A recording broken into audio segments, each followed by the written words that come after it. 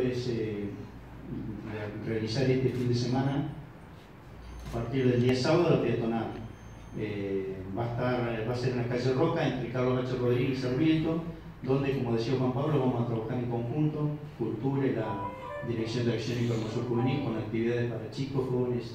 y bueno, también van a estar los artesanos de la localidad. Así que la idea es que el vecino pueda disfrutar de estas actividades Sabemos que muchos no pueden salir de la comunidad, entonces lo que estamos ofreciendo como municipio, con la gestión, eh, con el intendente José Seco, es eh, que puedan disfrutar de estas actividades que son gratuitas y donde van a poder ver, eh, exponer los artesanos, exposición y venta, como también van a poder, poder disfrutar de nuestros artistas que son excelentes músicos y solistas, grupos musicales, variedad, distintas variedades que para que puedan llegar a, distintos, a los distintos sectores de nuestra comunidad. También comentarle que en un trabajo en conjunto con la Subsecretaría de Juventud y Deportes, hoy miércoles iniciamos la actividad de Zumba en el Parque de la Ciudad,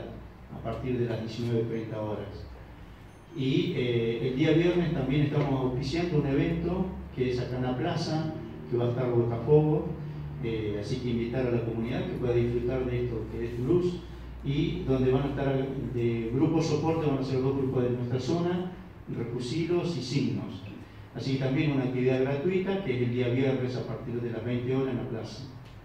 Y con respecto, bueno, continuando con lo que va a ser la peatonal, eh, van a ser cinco, eh, cinco sábados, cuatro sábados y un domingo,